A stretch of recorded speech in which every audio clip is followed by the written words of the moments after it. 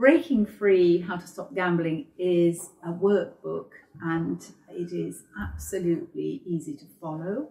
It is broken down in different chapters just in the way that our sessions at the clinic focus on different things that one can do. The tracking of one's behavior is vital to this cognitive behavioral intervention. What I mean by that is that we, you can use an app if you want, the gambling apps uh, that track your, your behaviors, but we very much encourage people to use a grid, you know, paper, squared paper, and if you have gambled on any day, um, you have a flat line along the little square, but if you have managed to remain abstinent, you have a di diagonal line going up. So you're climbing that mountain of getting away from the illness. It's a sort of visual illustration of the wonderful work of abstinence that you have achieved. And our patients love this. So tracking on paper is still something we know works very well. But some, the next chapter is very much about how do you know you have a problem. People always say, well, I do love gambling. I've gambled all, all my life. I know I've got, a, I, I've got debts, but how do I know it's really a problem?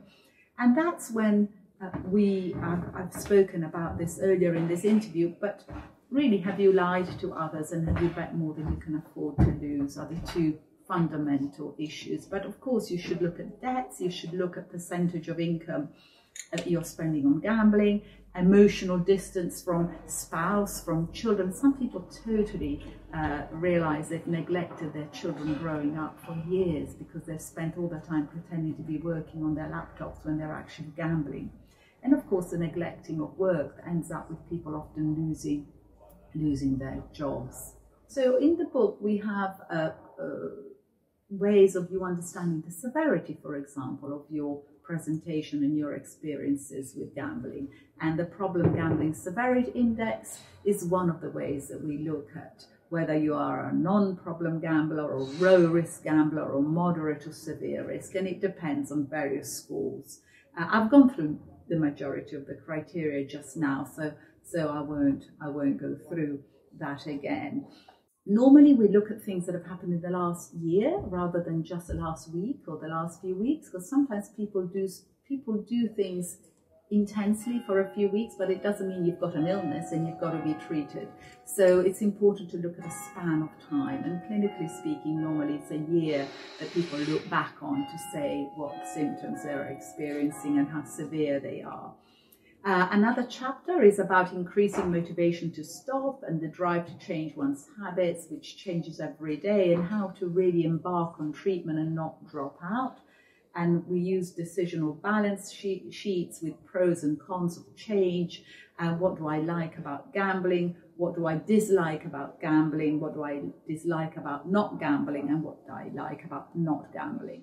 We, we move on to chapters about plans of change, about one's goals and how important it is right now to stop gambling and what gives me the confidence uh, to be able to say that I can stop. For example, past periods of abstinence you can rely on to give you an idea that you're capable of do it again, doing it again. Uh, there's a bits about confidence, how to build your confidence around changing your, your life. And um, we talk about cue cards, uh, I've mentioned a bit about this, but an example from the book would be if I gamble, I will lose my partner, my debts will never end, I will lose my job. If I stop gambling, I will have money to do things I like. For example, go on holiday. For example, buy Christmas presents. These are classic examples our patients give us. I will feel less stressed. I will feel better mentally. My children will have a better life. So um, I've talked about stimulus control, that's in the book. Uh, I've talked about reducing access to money. Um, I need to mention the reward schedule. This is really important in terms of the uh, effectiveness of treatment. We encourage people uh, to choose rewards because these reinforce the behavior of not gambling. Patients feel really guilty. They don't like the idea of rewarding themselves. They feel they must stop gambling, full stop. Uh, but actually, if they can start not to gamble and they can use a little bit of that money to maybe have a meal out if they haven't gambled for a week, or see a film, or treat themselves to something small. Um, that always, always is at the core of the CBT behavior addictions module. It could be a walk at lunchtime, a sweet treat, it could be favorite food, it, but it is a contract with yourself. And after a month, that reward gets a bit higher because, of course, you've done well and you haven't spent money on gambling. So there's a bits about reflecting on obstacles to a reward schedule. That's very important. There's a section on cravings and urges um, and the excitement that can lead to plannings one relapse and how cravings can also appear as gambling related thoughts. The most important thing about cravings is to stay with the moment, surfing that craving wave. Uh, if you surf that wave, eventually it will lower the impetus and eventually you will be able to overcome the craving. And remember, these patients are impulsive, they're not good at delayed gratification. So we give them the skills to learn how to be better at delaying gratification. Uh, examples of gambling triggers so people can understand and personalize their own triggers.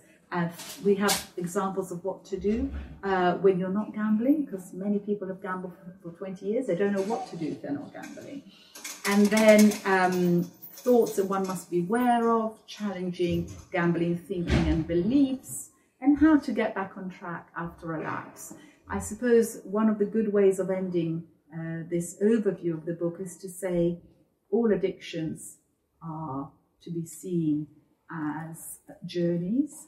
Sometimes people give in to their addiction, but it's important not to give up completely if you momentarily have a lapse. And that's one of the things we really have to focus on, how to teach patients that going to the bookmakers once for 10 minutes is not having to give up on everything. It's a bit like people who have been on a diet for a month, they have a slice of cake.